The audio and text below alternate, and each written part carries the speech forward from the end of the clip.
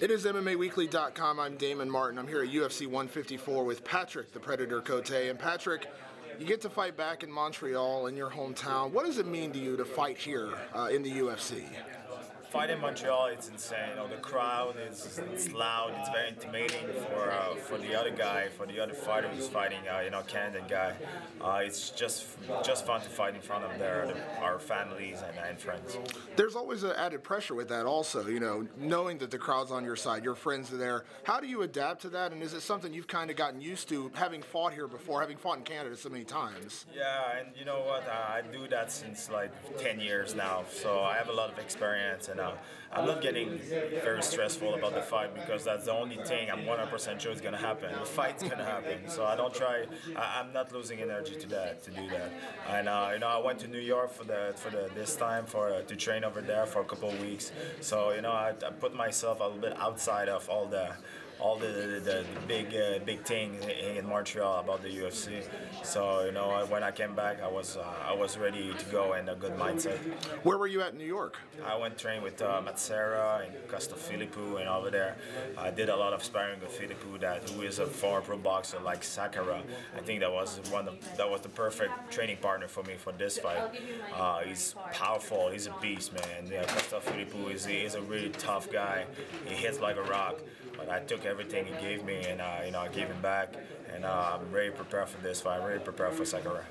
What What's the biggest thing you took away from your last fight? I know Cung Le and Alessio Sakara are much different fighters. Other than they like to stand up, that's literally about the only thing you can say. But is there something you can use from that last fight going into this one? Oh, sure. You know, against Cung Le, I did. I think I did 90% right uh, in this fight. You know, some details cost me the fight, and at this level, it's, it's that. Uh, you know, I, I, didn't cut the angle well. Uh, I didn't touch a target like I, I was I was thinking that I, will do, and uh, but that was more about the, the, cutting the angle. I was a little bit more too much running after him instead of just cutting the other and try to trap him somewhere. Uh, we worked a lot on that. We worked a lot on footwork.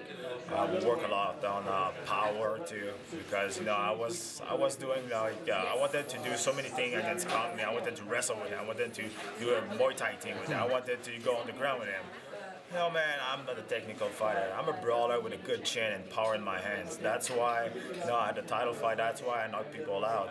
And that's that's what we think uh, this thing's gonna, you know, make us the winner Saturday night. You know, get back where we were before.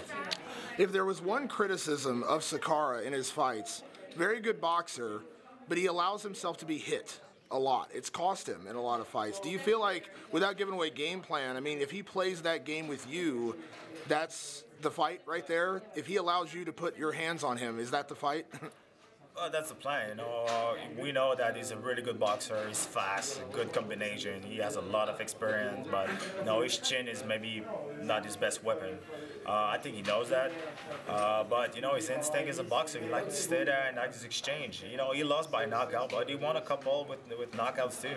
Uh, but you know what? For sure, we're gonna test his chin, and uh, you know, I think the power is on my side. I think that you know my chin is better than his chin, but you know, if he's not going down on the first powerful punch I'm gonna give him, I have to stay focused and stay in my game plan, and you know, just do it again. So, last question: Coming home to Montreal. What are we thinking? Knockout of the night bonus? Is that a nice way to come home?